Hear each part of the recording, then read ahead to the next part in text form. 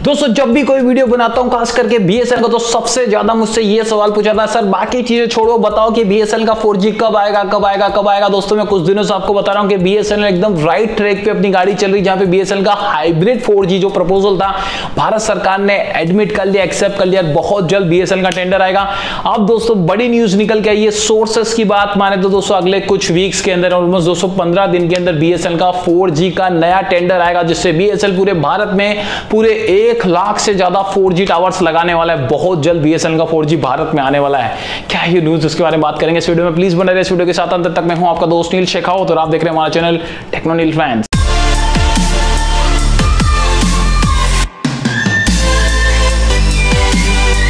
Friend जैसे कि आप सभी जानते हैं, हमारी भारतीय सारी सरकारी कंपनी दोस्तों बीएसएनएल 2016 से दोस्तों सोतेले बेटे जैसा उसके साथ व्यवहार हो रहा था, उसको 4G दे देना चाहिए था, लेकिन नहीं मिला।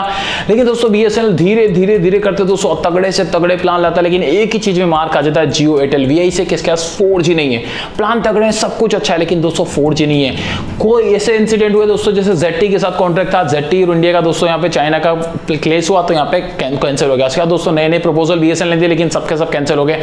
बहुत सारे पंगे हुए, लेकिन अब दोस्तों सारी चीज़ें ट्रैक पे चल रही है। बीएसएल दोस्तों फाइनली क्योंकि सरकार ने बोला था कि आपको चाइना को छोड़ के भारत की कंपनियों पे फोकस करना चाहिए। भारत के ही वेंडर्स के साथ काम करना चाहिए, क्योंकि आत्मनिर्भर भारत के तहत आपको भारत की कंपनी को यहाँ पे काम देना चाहिए। Tech Mahindra TCS L Tejas network जैसी कंपनी को आपको फोर नेटवर्क में इन्वॉल्व करना चाहिए। लेकिन ये सारी चीज़ें कॉम्प्लेक्स होती जा रही थी, लेकिन बीएसएल एक ऐसा सोल्यूशन लेके आया जिससे सरकार की बात भी मन गई और बीएसएल का भी काम हो गया। बी बीएसएल दोस्तों, एक हाइब्रिड कॉन्सेप्ट लेके आया। हाइब्रिड कॉन्सेप्ट दोस्तों मतलब दो टेंडर अलग अलग निकालेगा, एक टेंडर दे देगा पूरी भारत की कंपनी को और एक टेंडर देगा बाहर की कंपनी यूरोपियन वेंडर जैसे दोस्तों सोन एरिक्सन हो गया नोकिया हो गया सैमसंग हो गया, ऐसी कंपनी को दे देगा और एक टेंडर होगा भारतीय कंपनी के लिए, जहाँ पे L D T C S दो सौ यहाँ पे टेक महिंद्रा इस तरह की कंपनी यहाँ पे ला लेगी जहाँ पे भारतीय कंपनी को सत्तावन हज़ार फोर जी टावर्स दिए जाएँगे और बाहर के वेंडर्स को दोस्तों जो कॉन्ट्रैक्ट दिया जाएगा, उसमें पचास हज़ार, यानी ऑलमोस्ट एक लाख सात हज़ार नए फोर जी टावर्स पूरे भारत में लगेंगे।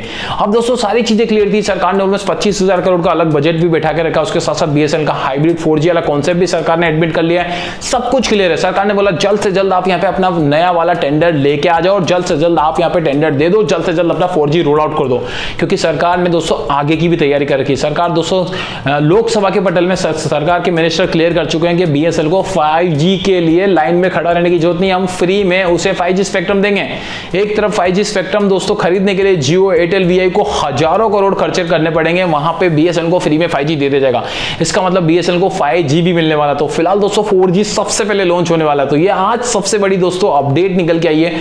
सोर्सेस की बात माने, फ़िलहाल दोस्तों ये अनऑफिशियल सूत्र है। पहले बता दूँ आपको, जैसे अपडेट आएगी, मैं आपको डेफिनेटली आगे बता दूँगा। लेकिन फ़िलहाल दोस्तों, अगर सोर्सेस की बात माने, हमारे इंटरनल सोर्सेस की बात माने तो बीएसएनएल आने वाले कुछ ही सप्ताह में, यानी दोस्तों, एक से दो वीक के अंदर, पंद्रह दिन के अंदर यहाँ पे अपना नया फोर टेंडर लॉन्च कर सकता है। आपने सही सुना, ये टेंडर दोस्तों पहले आ जाना चाहिए था, लेकिन भारत में आप सभी जानते हैं कि कोरोना की दूसरी वेव आई हुई इसलिए सारी चीज़ें रुकी हुई है। तो हो सकता है एक आध वीक आगे पीछे हो जाए, लेकिन बहुत जल्द आने वाले एक से दो वीक के अंदर बीएसएनएल अपना नया 4G टेंडर रोल आउट करेगा, जिसमें दोस्तों हो सकता है ये दो टेंडर हो हाइब्रिड टेंडर हो, एक जहाँ पे एक टेंडर जो होगा भारतीय कंपनी को दिया जाएगा सत्तावन हज़ार नए 4G टावर्स भारत में लगाने के लिए, और एक टेंडर दोस्तों यहाँ पे सैमसंग नोकिया और एक जैसी कंपनी को दिया जाएगा, जहाँ पे पचास हज़ार टावर यानी total number of four towers की बात करें तो एक हज़ार सात हज़ार, एक लाख सात हज़ार फोर टावर्स पूरे भारत में रोल आउट होंगे। ऐसा हो जाता है तीन से छह महीने के अंदर फ्रेंड्स तो बी एस एन एल यहाँ पे जियो एयरटेल वी आई की छुट्टी कर देगा, क्योंकि बी एस एन एल के प्लान बहुत ही कातिल होते हैं, बहुत तगड़े होते हैं। सिर्फ़ एक कंपनी होती है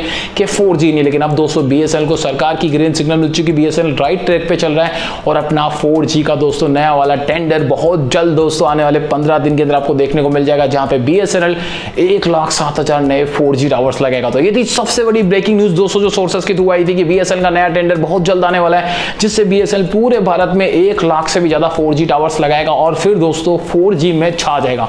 और इसके कुछ महीने बाद दोस्तों 5G भी ला सकता है। इसकी टेस्टिंग भी दोस्तों शुरू कर दी। इसके बारे में मैं समय समय पर आपको अपडेट देता रहूँगा। तो ये वीडियो को अच्छा लगा इन्फॉर्मेटिव लगा तो थम्स अप जो देते आपके भाई का चैनल है वीडियो को शेयर कर दीजिए सारे दोस्तों के साथ। उन्हें डिफेंस अच्छा लगेगा। पहले बार हमारे चैनल पर पहली बार हमारा वीडियो देख रहे हैं, मुझे देख रहे हैं। जो लाल कलर का बटन है, इसको जो दबा देना। इसको दबाने से हमारी छोटी सी टेक्नोलॉजी फैमिली की वी मेंबर बन जाएँगे। इसके पास दिखेगा घंटी का बटन उसको जो दबा देना, उसको दबाने से जब भी मैं एक नया वीडियो मेरे चैनल पर अपलोड करूँगा, सबसे पहले आपकी फ़ोन की घंटी बजेगी। आप देख सकेंगे मेरे नया ताज़ा वीडियो सबसे पहले। तो प्लीज़ भूले बिना इस घंटी के बटन को जो दबा देना। आज के लिए इतना फिर मिलेंगे एक नए वीडियो के साथ, एक नई बड़ी अपडेट के साथ। Always keep smiling